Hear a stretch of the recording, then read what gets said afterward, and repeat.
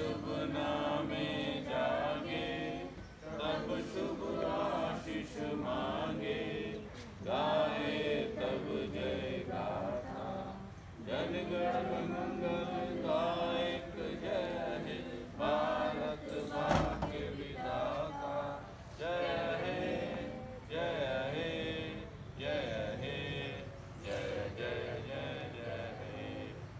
माता की?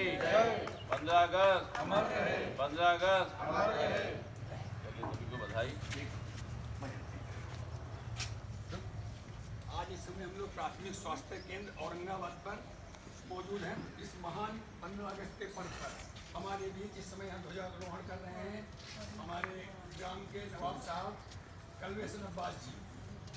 साहब, इस महान पर्व पर आप क्षेत्रवासियों को क्या संदेश देना चाहेंगे? देखिए स्वाधीनता दिवस से पहले तो हमारी सभी को शुभकामनाएँ।